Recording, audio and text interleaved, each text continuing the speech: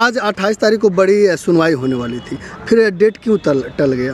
Date इसलिए टल गया क्योंकि स्टेट ऑफ़ तमिलनाडु ने टाइम लिया है कि उनको जो एनएसए पे हमने अमेंडमेंट करी है अपनी पिटिशन हमने अमेंड करी है उस पर उनको रिप्लाई के लिए और समय चाहिए। जी और समय की ज़रूरत है। और समय की ज़रूरत है। तो क्या ये तारीख पर तारीख होता रहेगा मैम या न्याय की भी बात होगी नहीं न्याय की बात होगी न्याय की बात ही हुई है 21 तारीख को भी तो अभी भी होगी और मेरा मानना ये है कि एट्थ मई को फैसला हो जाएगा। बिहार के बहुत सारे ऐसे दर्शक है जो मनीष कश्यप को अपना आइडियल मानते हैं। वो चाह रहे हैं कि मनीष कश्यप जल्द बाहर निकले। क्या उनको क्या संदेश देना चाहिए? देखिए आइडल चाह रहे हैं हम भी चाह रहे हैं कि वो थोड़ा जल्दी बाहर आ जाएँ।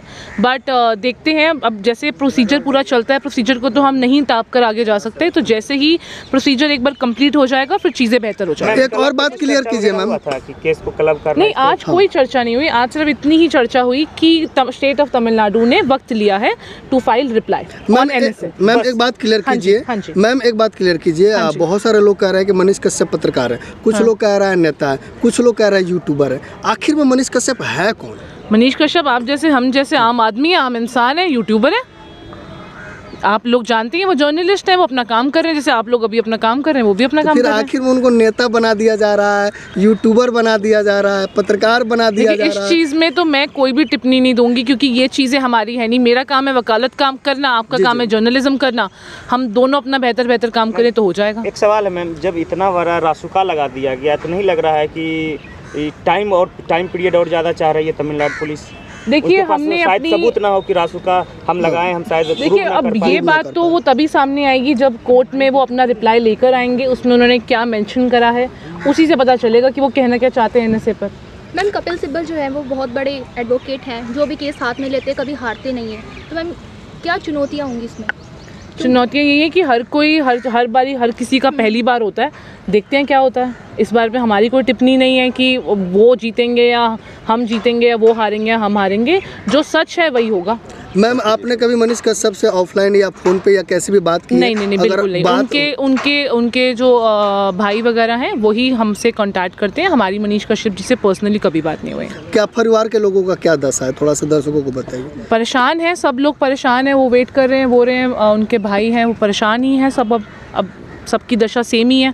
जो उनके समर्थकों का हाल है वही हमारा हाल है वही उनके रिश्तेदारों का हाल है। एथ का मिला एट्थ मई का डेट है नेक्स्ट एट में हाँ जी। क्या उस दिन लग रहा है कि सारा कुछ कुछ हो सकता है? उस दिन हो जाएगा क्योंकि अब उन्होंने टाइम ले लिया है तो अब वो और डिले नहीं करेंगे तो एट्थ मई को हो जाएगा मनीष कश्यप का जो पर्सनल वकील है और आप है क्या तैयारियाँ रहेगी आठ तारीख का? सर कोई पर्सनल वकील नहीं है। वकील आदित्य देशवाल हैं और क्या मैं हूँ तैयारी होगी आगे? तैयारी सर यही है बस अब न्याय दिलवाना है तैयारी हमारी पूरी है। अब जब एट्थ मे को हम तो आज भी तैयार थे। आज अनफॉर्चुनेटली अब नहीं आया मैटर उन्होंने टाइम ले लिया। तो एट्थ मे को हमें लगता है कि ये हो जाएगा। थैंक यू एट में केस मर्ज को लेकर क्लब करने को लेकर आज कोई बात नहीं आज सिर्फ़ समय लिया है उन्होंने आठ तारीख तक का ताकि वो अपना रिप्लाई जो है वो टाइम से एनएसए पे फ़ाइल कर सकें। चलिए बहुत बहुत तो इसलिए अब एट्थ मे की डेट नेक्स्ट रखी है। एट मेकिंग हाँ जी। मैम एक क्वेश्चन आ रहा है कि, आ, कि बहुत हमारे पास कई ऑडियंसेस के मेल्स हैं मैसेजेस हैं फ्रिक्वेंटली कि बहुत सारे एडवोकेट्स सामने आ गए हैं। हम्म। लोग कंफ्यूज हो रहे हैं कि एक्चुअली एडवोकेट हैं कौन? हमारे मतलब मनीष कश्यप के जो मेन वकील हैं वो कौन? मेन वकील कौन? देखिए मेन वकील का आप सबको पता ही है मेन वकील आदित्य देशवाल हैं। उनके साथ मैं हूँ मेरा नाम रिदम अरोड़ा है। और हमारे जो एओआर हैं एडवोकेट ऑन रिकॉर्ड वो अनंता प्रसाद मिश्रा हैं। तो हम तीनों ने मिलकर ही ये मैटर फ़र्स्ट अप्रैल को ही फ़ाइल कर दिया था। बट कोर्ट की छुट्टियाँ चल रही थी तो वो मैटर लिस्ट नहीं हो पा रहा था।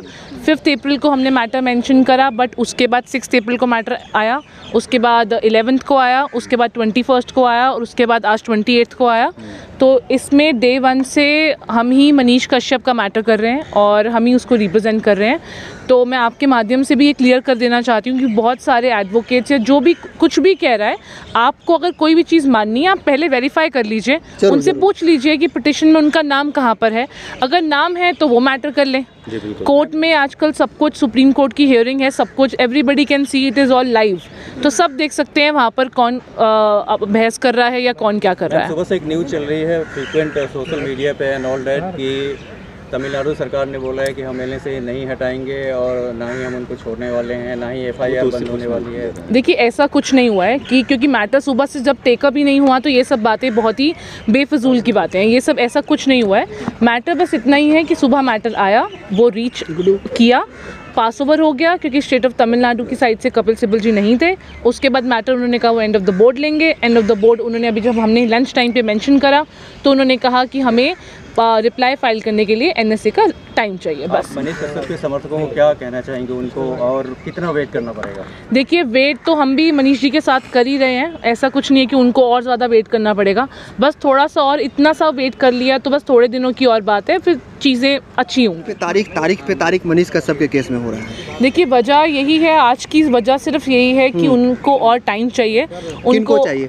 स्टेट ऑफ़ तमिलनाडु को स्टेट ऑफ़ तमिलनाडु को। रिप्लाई फ़ाइल करने के लिए एनएसए की चीज़ों पर थोड़ा समय चाहिए। हाँ। आज का डिले का सिर्फ़ यही रीज़न है। हाँ, देखा जाए तो मनीष कश्यप का क्लबिंग की बात की जाए एनएसए की बात की की जाए आज जो चर्चा है एनएसए पे होने वाली थी क्योंकि बहुत बड़ी बात थी मनीष कश्यप को लेकर और ऐसा कहीं ना कहीं आस लगाया जा रहा था कि आज मनीष कश्यप को राहत मिल सकेगी पर आज भी नहीं मिला। देखिए आज क्लबिंग के लिए भी था और एनएसए दोनों के लिए था बट क्लबिंग के लिए ऑलरेडी वो लोग रिप्लाई कर चुके हैं। हमें पिटिशन अमेंड करने के लिए कहा था।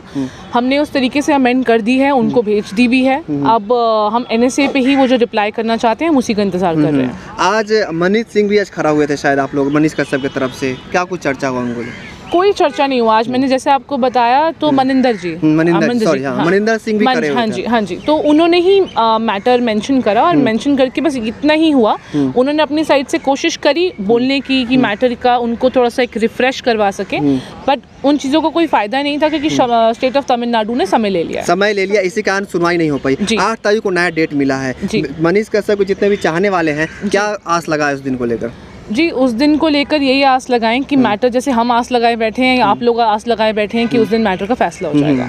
अगर कहीं कहीं बात की जाए पल्ला की किसका पल्ला भाई नज़र आ रहा है? आप लोगों का या तमिलनाडु का या बिहार की सरकार का? ये तो न्याय का पलना भारी होना चाहिए किसी और इंसान का नहीं होना चाहिए। तैयारी कहाँ तैयारी की बात की जाए एट तारीख मिला है आज की तैयारी क्या थी आप लोगों की? मनीष हमारी आज की? तैयारी यही थी कि जो भी वो एनएसए से रिप्लाई लेकर आते हम उसको रिबट करते हम उस पे हम देखते कि उन्होंने ऐसा क्या मैंशन किया है जो हमारी साइड से नहीं है हाँ, हाँ। या हमारी साइड से हम हमने वो चूक करी है। तो पर अभी जब रिप्लाई नहीं मिला है तो उस पर हमने कोई नहीं करा। बाकी तैयारी हमारी डे वन से यही है कि एफआईआर क्लब हो जाए और एनएसए हट जाए। बार बार मनीष कश्यप के चाहने वाले कमेंट करें कि आखिर कब तक मनीष कश्यप को थोड़ा सा राहत मिल जाए? कितना मतलब कहीं ना कहीं सोचने वाली बात है लगातार उनकी मुसीबतें बढ़ रही हैं। जी मैं समझती हूँ उनकी मुसीबतें भी बढ़ रही हैं सबकी बढ़ रही हैं उनकी उनके समर्थकों की उनके रिश्तेदारों की सबकी बढ़ रही है। बस थोड़ा सा समय और आठ में ज़्यादा दूर नहीं है तो होपफुली हो जाएगा। वो आठ तारीख को कुछ ना कुछ हो सकता है और एन एस पे भी चर्चा होगी हाँ जी उस दिन एनएसए पे और क्लबिंग पे दोनों पे चर्चा होगी जो पूरी पिटिशन है उस पे चर्चा होगी। देखिए। केस मर्ज को लेकर क्लब करने को लेकर आज कोई बात नहीं आज सिर्फ़ समय लिया है उन्होंने आठ तारीख तक का ताकि वो अपना रिप्लाई जो है वो टाइम से एनएसए पे फ़ाइल कर सके। चलिए बहुत